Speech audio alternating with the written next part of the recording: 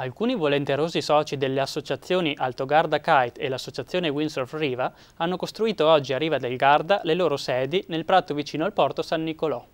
Si tratta di un'area messa a disposizione dalla Lido SPA dove i due sodalizi troveranno spazio per le loro attività sportive. Sentiamo le interviste ai presidenti delle due associazioni. In questo spazio messo a disposizione dal comune di Rivas, come vediamo sono in costruzione le casette dell'associazione Windsurf Riva e dell'associazione Alto Garda Kite.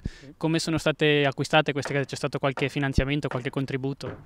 Sì, devo dire che siamo stati agevolati da, da, dall'amministrazione comunale di Rivana che ringraziamo perché finalmente siamo riusciti a fare la nostra sede sia come windsurf che come kite. E la Lido eh, di Riva del Garda che è eh, la concessionaria del Prato ci ha permesso, ci ha dato l'autorizzazione per fare questo e il comune ci ha dato il contributo per costruire queste casette. Noi ci mettiamo del nostro e siamo contenti, siamo arrivati a avere anche noi la nostra sede, un punto di riferimento che eravamo prima proprio eh, allo sbando, non avevamo nessun punto dove trovarci. È importante anche questo, è un altro passo avanti per noi, specialmente col kitesurf, che abbiamo, come si sa, le nostre problematiche anche a livello di navigazione. L'associazione Alto Garda Kite quanti soci coinvolge? Attualmente quest'anno abbiamo fatto 90 tesserati. Devo dire che partendo dal 2012 che abbiamo cominciato, che eravamo in 20, e siamo contenti perché comunque 90 praticanti, 90 tesserati, soci praticanti, e non ce l'aspettavamo nemmeno noi e, prendendo in considerazione anche le problematiche di navigazione che abbiamo. Non, non, è poco. Credo. A proposito di questo, sappiamo che nell'estate appena trascorsa ci sono state diverse polemiche riguardo alla navigazione del kite per quanto riguarda il lago di Garda.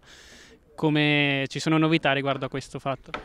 Ma noi continuiamo a insistere perché però credo che anche dall'altra parte si, si, sta vedendo con un occhio diverso la situazione e mi sembra che ci sia delle novità, credo che il prossimo anno ci siano delle novità perché sento un po' che si, si sta interessando anche qualcun altro, insomma, e, e non vedo più eh, andare contro un muro di gomma come, come era nel, nel, passato, diciamo. Mi sembra che si sta muovendo qualcosa.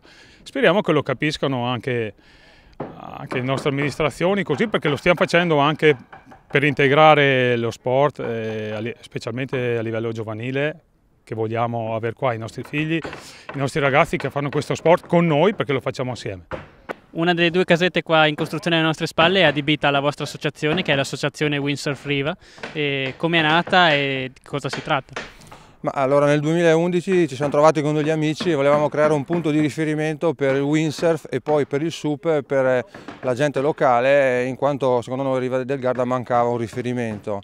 Adesso insieme a un'altra associazione creato, stiamo creando grazie al comune di Riva eh, un punto di riferimento, diciamo le nostre sedi.